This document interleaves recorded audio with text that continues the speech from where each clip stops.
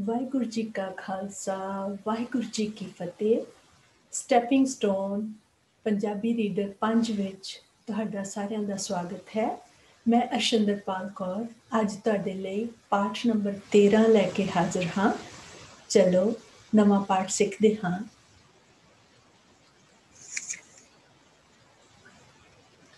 ਅੱਜ ਦਾ ਸਾਡਾ ਪਾਠ ਹੈ, ਇੱਕ ਅਰਦਾਸ ਦਾ ਸ਼ਬਦ। ਅਰਦਾਸ ਕੀ ਹੁੰਦੀ ਹੈ ਬੱਚਿਓ? ਤੁਹਾਨੂੰ ਸਾਰਿਆਂ ਨੂੰ ਵੈਸੇ ਪਤਾ ਹੋਏਗਾ, ਅਰਦਾਸ ਸਾਡੀ ਬੇਨਤੀ ਹੁੰਦੀ ਹੈ ਸਾਡੇ ਪਰਮਾਤਮਾ ਅੱਗੇ, ਸਾਡੇ ਵਾਹਿਗੁਰੂ ਜੀ ਅੱਗੇ। ਅਸੀਂ ਜਦੋਂ ਪ੍ਰੇਅਰ ਕਰਦੇ ਹਾਂ ਪ੍ਰੇ ਕਰਦੇ ਹਾਂ, ਅਸੀਂ ਉਹ ਅਰਦਾਸ ਬੇਨਤੀ ਕਰਦੇ ਹਾਂ।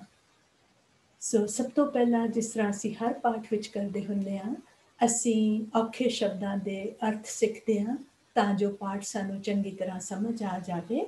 ਸੋ ਅਸੀਂ ਪਹਿਲਾ ਵੋਕੈਬਲਰੀ ਵਰਡ ਸਿੱਖਾਂਗੇ ਪਹਿਲਾ ਸ਼ਬਦ ਹੈ ਔਖਾ ਸਮਾਂ ਡਿਫਿਕਲਟ ਟਾਈਮ ਲੰਘ ਜਾਵੇਗਾ ਸ਼ੈਲ ਪਾਸ ਰੱਖਿਆ ਕਰਨ ਵਾਲਾ ਪ੍ਰੋਟੈਕਟਰ ਵਡਿਆਈਆਂ ਗ੍ਰੇਟਨੈਸਸ ਵਜ਼ੀਰ ਮਿਨਿਸਟਰ ਮੁੰਦਰੀ ਰਿੰਗ ਖਿਆਲ ਥਾਟ ਸ਼ੁਕਰ, ਥੈਂਕਸ, ਸਿਆਣਪ, ਵਿਜ਼ਡਮ, ਹਰ ਵੇਲੇ ਆਲਵੇਸ ਸਮਰੱਥਾ ਅਬਿਲਿਟੀ ਕੜੀ ਮੋਮੈਂਟ ਸੋ ਕੁਝ ਸ਼ਬਦ ਤੁਸੀਂ ਦੇਖੇ ਹੋਣਗੇ ਜਿਸ ਤਰ੍ਹਾਂ ਘੜੀ ਹੈਗਾ, ਘੜੀ ਇੱਕ ਵਾਚ ਹੁੰਦੀ ਜਿਸ ਤੋਂ ਅਸੀਂ ਸਮਾਂ ਦੇਖਦੇ ਆ ਰਾਈਟ ਸੋ ਇੱਕ ਹੁੰਦਾ ਘੜੀ ਸਮੇਂ ਦੀ, ਦਾ ਯੂਨਿਟ ਹੈਗਾ ਮੋਮੈਂਟ ਜਿਹੜਾ ਹੈਗਾ, ਇੱਕ ਪਲ ਹੈ ਨਾ ਸੋ ਉਹ ਹੈਗਾ ਸੋ ਪ੍ਰੋਟੈਕਟਰ ਇਹਦੇ ਵਿੱਚ ਕੌਣ ਪ੍ਰੋਟੈਕਟਰ ਹੈ? ਸਾਡੀ ਰੱਖਿਆ ਕਰਨ ਵਾਲਾ ਕੌਣ ਹੈ? ਵਾਹਿਗੁਰੂ ਸਾਡੀ ਰੱਖਿਆ ਕਰਨ ਵਾਲੇ ਨੇ। ਠੀਕ ਹੈ ਜੀ? ਸੋ ਉਹਨਾਂ ਦੀਆਂ ਵਾਹਿਗੁਰੂ ਦੀਆਂ ਵਡਿਆਈਆਂ ਗ੍ਰੇਟਨੈਸਸ ਉਹਨਾਂ ਦੀਆਂ ਬਲੇਸਿੰਗਸ ਹੈ ਨਾ ਸੋ ਅਸੀਂ ਇਹ ਸਾਰੀਆਂ ਇਹਦੇ ਵਿੱਚ ਇਸ ਪਾਠ ਵਿੱਚ ਗੱਲਾਂ ਕਰਾਂਗੇ। ਬੜਾ ਹੀ ਪਿਆਰਾ ਪਾਠ ਹੈ। ਇਹਦੇ ਵਿੱਚ ਬੜਾ ਸੋਹਣਾ ਲੈਸਨ ਸਾਨੂੰ ਮਿਲਦਾ ਹੈ। ਬੜਾ ਬੜੀ ਸੋਹਣੀ ਸਿੱਖਿਆ ਸਾਨੂੰ ਮਿਲਦੀ ਹੈ। ਕਈ ਵਾਰੀ ਸਾਡੀ ਜ਼ਿੰਦਗੀ ਵਿੱਚ ਔਖਾ ਸਮਾਂ ਆ ਜਾਂਦਾ ਹੈ। ਔਖੇ ਸਮੇਂ ਵਿੱਚ ਕਈ ਲੋਕ ਉਦਾਸ ਹੋ ਜਾਂਦੇ ਹਨ, ਕਈ ਲੋਕ ਗੁੱਸੇ ਵਿੱਚ ਆ ਜਾਂਦੇ ਹਨ, ਕਈ ਲੋਕ ਡਿਪਰੈਸ਼ਨ ਵਿੱਚ ਚਲੇ ਜਾਂਦੇ ਹਨ। ਉਦਾਸੀ, ਗੁੱਸਾ ਅਤੇ ਡਿਪਰੈਸ਼ਨ ਸਾਡੇ ਕੋਲੋਂ ਠੀਕ ਕੰਮ ਕਰਨ ਦੀ ਸਮਰੱਥਾ ਖੋ ਲੈਂਦੇ ਹਨ।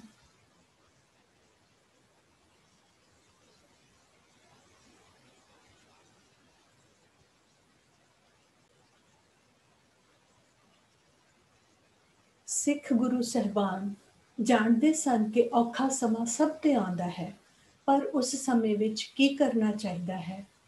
ਉਹਨਾਂ ਨੇ ਇਹ ਹੀ, ਇਹ ਵੀ ਸਿੱਖਾਂ ਨੂੰ ਗੁਰਬਾਣੀ ਵਿੱਚ ਦੱਸਿਆ। ਗੁਰਬਾਣੀ ਸਾਨੂੰ ਹਰ ਤਰ੍ਹਾਂ ਦਾ ਜਿਹੜਾ ਹੈਗਾ, ਸਿੱਖਿਆ ਹਰ ਤਰ੍ਹਾਂ ਦੀ ਸਿੱਖਿਆ ਦਿੰਦੀ ਹੈ, ਹਰ ਤਰ੍ਹਾਂ ਦਾ ਸਬਕ ਸਾਨੂੰ ਗੁਰਬਾਣੀ ਦੇ ਵਿੱਚ ਮਿਲਦਾ ਹੈ। ਤੇ ਔਖੇ ਸਮੇਂ ਵਿੱਚ ਅਸੀਂ ਕੀ ਕਰਨਾ, ਉਹ ਵੀ ਗੁਰੂ ਸਾਹਿਬ ਨੇ ਸਾਨੂੰ ਗੁਰਬਾਣੀ ਦੇ ਵਿੱਚ ਸਿਖਾਇਆ, ਗੁਰਬਾਣੀ ਦੇ ਸ਼ਬਦਾਂ ਵਿੱਚ ਸਾਨੂੰ ਦੱਸਿਆ ਹੈ।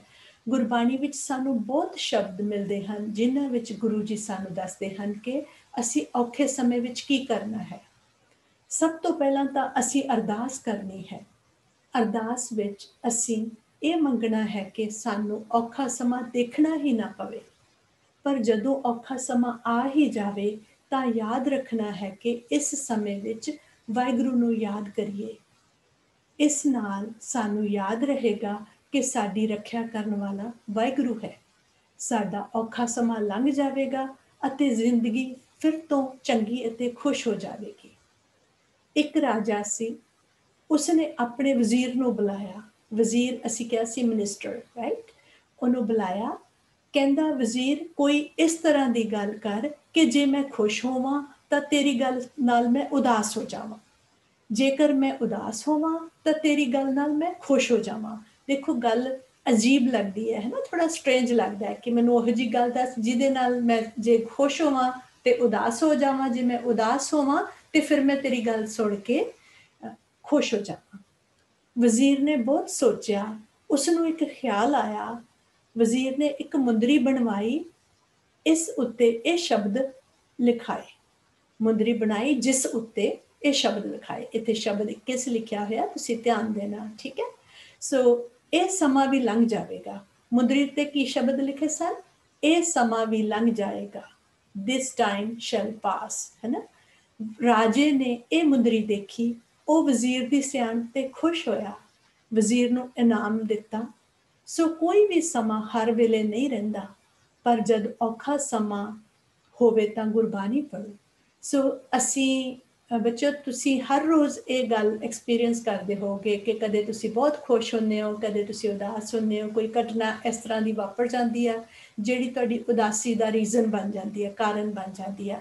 ਤੇ ਕਦੇ ਕੋਈ ਚੰਗੀ ਘਟਨਾ ਇਹੋ ਜੀ ਹੁੰਦੀ ਹੈ ਜਿਹਦੇ ਨਾਲ ਤੁਸੀਂ ਬਹੁਤ ਖੁਸ਼ ਹੋ ਜਾਂਦੇ ਹੋ ਰਾਈਟ ਸੋ ਸਾਨੂੰ ਇਹ ਯਾਦ ਰੱਖਣਾ ਚਾਹੀਦਾ ਕਿ ਜੇ ਚੰਗਾ ਸਮਾਂ ਹਮੇਸ਼ਾ ਨਹੀਂ ਰਹਿੰਦਾ, ਤਾਂ ਮਾੜਾ ਸਮਾਂ ਵੀ ਹਮੇਸ਼ਾ ਨਹੀਂ ਰਹਿਣਾ। ਤੇ ਪਰ ਇਹ ਬਹੁਤ ਨੈਚੁਰਲ ਆ, ਬਹੁਤ ਕੁਦਰਤੀ ਆ ਕਿ ਜਦੋਂ ਕੋਈ ਔਖਾ ਸਮਾਂ ਹੁੰਦਾ ਹੈ, ਚੰਗੇ ਸਮੇਂ ਵਿੱਚ ਅਸੀਂ ਬੇਸ਼ੱਕ ਭੁੱਲ ਜਾਈਏ, ਪਰ ਜਦੋਂ ਕੋਈ ਔਖਾ ਸਮਾਂ ਹੁੰਦਾ ਹੈ ਤਾਂ ਸਾਨੂੰ ਹਮੇਸ਼ਾ ਬਹੁਤ ਔਖਾ ਲੱਗਦਾ ਹੈ ਉਹਨੂੰ ਮੰਨਣਾ ਤੇ ਉਹਦੇ ਵਿੱਚ ਸਾਨੂੰ ਲੱਗਦਾ ਹੈ ਕਿ ਸਮਾਂ ਲੰਘ ਨਹੀਂ ਰਿਹਾ। ਸੋ ਔਖਾ ਸਮਾਂ ਜਦੋਂ ਹੋਵੇ ਸਾਨੂੰ ਵਾਹਿਗੁਰੂ ਜੀ ਨੂੰ ਯਾਦ ਕਰਨਾ ਚਾਹੀਦਾ ਹੈ। ਤੇ ਗੁਰਬਾਣੀ ਦਾ ਸ਼ਬਦ ਪੜ੍ਹਨਾ ਚਾਹੀਦਾ, ਜਿਹਦੇ ਨਾਲ ਸਾਡੇ ਮਨ ਨੂੰ ਤਸੱਲੀ ਮਿਲਦੀ ਆ, ਸ਼ਾਂਤੀ ਮਿਲਦੀ ਆ ਤੇ ਸਾਨੂੰ ਇਹ ਲੱਗਦਾ ਹੈ ਕਿ ਵਾਹਿਗੁਰੂ ਜੀ ਸਾਡੇ ਪ੍ਰੋਟੈਕਟਰ ਹਨ, ਵਾਹਿਗੁਰੂ ਜੀ ਸਾਡੀ ਰੱਖਿਆ ਕਰਨ ਵਾਲੇ ਹਨ ਤੇ ਉਹਨਾਂ ਨੇ ਹੀ ਸਾਨੂੰ ਇਸ ਔਖੇ ਸਮੇਂ ਦੇ ਵਿੱਚੋਂ ਪਾਰ ਕਰਨਾ ਹੈ। ਔਖੇ ਸਮੇਂ ਦੇ ਵਿੱਚੋਂ ਉਹਨਾਂ ਨੇ ਸਾਨੂੰ ਲੰਘਾਉਣਾ ਸਾਡੀ ਬਾਹ ਫੜਨੀ ਹੈ, ਸਾਡੇ ਆਸਰਾ ਬਣਨਾ ਉਹਨਾਂ ਨੇ। ਠੀਕ ਹੈ? ਸੋ ਹੁਣ ਅਸੀਂ ਇੱਕ ਸ਼ਬਦ ਪੜਾਂਗੇ ਇਸ ਪਾਠ ਦੀ ਬੜੀ ਸੋਹਣੀ ਸਿੱਖਿਆ ਹੈ। ਤੇ ਉਹ ਅਸੀਂ ਗੁਰਬਾਣੀ ਦਾ ਸ਼ਬਦ ਸਿੱਖ ਕੇ ਉਹਨੂੰ ਆਪਣੇ ਮਨ ਵਿੱਚ ਵਸਾਵਾਂਗੇ। ਇਹ ਸ਼ਬਦ ਪੜੋ ਅਤੇ ਯਾਦ ਕਰੋ, ਇਹ ਤੁਹਾਡਾ ਘਰ ਦਾ ਕੰਮ ਹੈ, ਠੀਕ ਹੈ? ਸੋ ਇਹ ਸ਼ਬਦ ਤੁਸੀਂ ਪੜਨਾ ਹੈ ਤੇ ਇਹਨੂੰ ਯਾਦ ਕਰਨਾ ਹੈ, ਇਸ ਸ਼ਬਦ ਦਾ ਮਤਲਬ ਵੀ ਸਿੱਖਣਾ ਹੈ ਤੇ ਮਤਲਬ ਇੱਥੇ ਸੌਖੇ ਸ਼ਬਦਾਂ ਵਿੱਚ ਥੋੜੇ ਜਿਹੇ ਸੰਖੇਪ ਵਿੱਚ ਜਿੱਦਾਂ ਮੇਨ ਆਈਡੀਆ ਸ਼ਬਦ ਦਾ ਜਿਹੜਾ ਹੈਗਾ, ਉਹ ਲਿਖਿਆ ਹੋਇਆ, ਆਪਾਂ ਪਹਿਲਾਂ ਸ਼ਬਦ ਪੜ੍ਹਦੇ ਆ ਤੇ ਫਿਰ ਉਸ ਤੋਂ ਬਾਅਦ ਸ਼ਬਦ ਦਾ ਮਤਲਬ ਸਿੱਖਾਂਗੇ। ਤਨਾਸਰੀ ਮਹੱਲਾ ਪੰਜਵਾਂ। ਸੋ ਤਨਾਸਰੀ ਮਹੱਲਾ ਪੰਜਵਾਂ ਦਾ ਮਤਲਬ ਹੈ, ਇਹ ਕਿ ਪੰਜਵੇਂ ਪਾਤਸ਼ਾਹ ਗੁਰੂ ਅਰਜਨ ਦੇਵ ਜੀ ਦਾ ਲਿਖਿਆ ਹੋਇਆ ਸ਼ਬਦ ਹੈ ਤੇ ਇਹ ਰਾਗ ਤਨਾਸਰੀ ਦੇ ਵਿੱਚ ਲਿਖਿਆ ਹੋਇਆ ਹੈ, ਠੀਕ ਹੈ? ਸੋ ਗੁਰੂ ਗ੍ਰੰਥ ਸਾਹਿਬ ਜੀ ਦੇ ਵਿੱਚ ਵੱਖਰੇ ਵੱਖਰੇ ਰਾਗ ਹਨ ਤੇ ਉਹਨਾਂ ਵਿੱਚੋਂ ਤਨਾਸਰੀ ਇੱਕ ਰਾਗ ਹੈ, ਜਿਹਦੇ ਵਿੱਚ ਗੁਰੂ ਅਰਜਨ ਪਾਤਸ਼ਾਹ ਨੇ ਇਹ ਸ਼ਬਦ ਲਿਖਿਆ ਹੈ।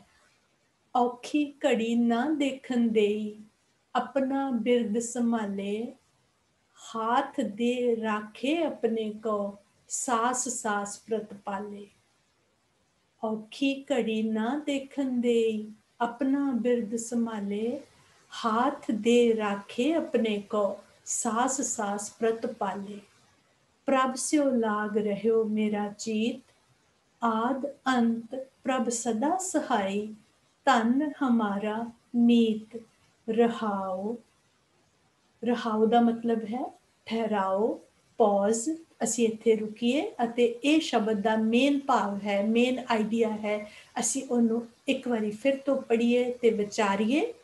ਪ੍ਰਭ ਸਿਓ ਲਾਗ ਰਿਓ ਮੇਰਾ ਚੀਤ ਆਦ ਅੰਤ ਪ੍ਰਭ ਸਦਾ ਸਹਾਈ ਤਨ ਹਮਾਰਾ ਮੀਤ। ਰਹਾਓ ਮਨ ਬਿਲਾਸ ਭਏ ਸਾਹਿਬ ਕੇ, ਅਚਰਜ ਦੇਖ ਬੜਾਈ ਹਰ ਸਿਮਰ ਸਿਮਰ ਆਨੰਦ ਕਰ ਨਾਨਕ, ਪ੍ਰਭ ਪੂਰਨ ਪੈਜ ਰਖਾਈ ਮਨ ਬਿਲਾਸ ਭੈ ਸਾਹਿਬ ਕੇ ਅਚਰਜ ਦੇਖ ਬੜਾਈ ਹਰ ਸਿਮਰ ਸਿਮਰ ਆਨੰਦ ਕਰ ਨਾਨਕ, ਪ੍ਰਭ ਪੂਰਨ ਪੈਜ ਰਖਾਈ ਵਾਹਿਗੁਰੂ ਜੀ, ਇਸ ਸ਼ਬਦ ਦਾ ਸੌਖਾ ਮਤਲਬ, ਵਾਹਿਗੁਰੂ, ਆਪਣੇ ਸਿੱਖਾਂ ਨੂੰ ਔਖਾ ਸਮਾਂ ਨਹੀਂ ਦੇਖਣ ਦਿੰਦਾ। ਜੇ ਔਖਾ ਸਮਾਂ ਆ ਜਾਵੇ ਤਾਂ ਆਪ ਰੱਖਿਆ ਕਰਦਾ ਹੈ। ਬਸ ਅਸੀਂ ਹਮੇਸ਼ਾ ਉਸ ਵਾਹਿਗੁਰੂ ਨੂੰ ਯਾਦ ਰੱਖਣਾ ਹੈ, ਉਸ ਦੀਆਂ ਵਡਿਆਈਆਂ ਦੇਖ ਕੇ ਸ਼ੁਕਰ ਕਰਨਾ ਹੈ। ਵਾਹਿਗੁਰੂ ਨੇ ਆਪੇ ਹੀ ਸਾਡੇ ਸਾਰੇ ਕੰਮ ਕਰ ਦੇਣੇ ਹਨ। ਇਹ ਸਾਡਾ ਵਿਸ਼ਵਾਸ ਹੋਣਾ ਚਾਹੀਦਾ ਹੈ। ਬੜੀ ਅਸੀਂ ਔਖੇ ਸਮੇਂ ਵਿੱਚ ਬੜੇ ਅਸੀਂ ਡੋਲ ਜਾਂਦੇ ਹਾਂ, ਉਦਾਸ ਹੋ ਜਾਂਦੇ ਹਾਂ ਤੇ ਸਾਨੂੰ ਵਾਹਿਗੁਰੂ ਜੀ ਤੇ ਭਰੋਸਾ ਰੱਖ ਕੇ ਵਾਹਿਗੁਰੂ ਜੀ ਨੇ ਹੀ ਸਾਨੂੰ ਔਖੇ ਸਮੇਂ ਵਿੱਚੋਂ ਬਾਹਰ ਕੱਢਣਾ ਹੁੰਦਾ ਹੈ। ਸੋ ਇਸ ਕਰਕੇ ਸਾਨੂੰ ਵਾਹਿਗੁਰੂ ਜੀ ਨੂੰ ਯਾਦ ਕਰਨਾ ਚਾਹੀਦਾ, ਉਹਨਾਂ ਦਾ ਸ਼ੁਕਰਾਨਾ ਕਰਨਾ ਚਾਹੀਦਾ ਹੈ। ਸੋ ਬੱਚਿਓ, ਇਸ ਸ਼ਬਦ ਨੂੰ ਤੁਸੀਂ ਔਖੀ ਘੜੀ ਸ਼ਬਦ ਨੂੰ ਸੋਹਣੀ ਲਿਖਤ ਵਿੱਚ ਲਿਖਣਾ ਹੈ। ਇੱਥੇ ਕੋਈ ਗਲਤੀ ਨਹੀਂ ਕਰਨੀ, ਬਹੁਤ ਧਿਆਨ ਨਾਲ ਦੇਖ ਕੇ ਲਿਖਣਾ ਹੈ। ਇਹ ਤੁਹਾਡਾ ਕੰਮ ਹੈ ਸ਼ਬਦ ਨੂੰ ਲਿਖਣਾ ਤੇ ਸ਼ਬਦ ਨੂੰ ਯਾਦ ਕਰਨਾ। ਵਾਹਿਗੁਰੂ ਜੀ ਕਾ ਖਾਲਸਾ, ਵਾਹਿਗੁਰੂ ਜੀ ਕੀ ਫਤਿਹ।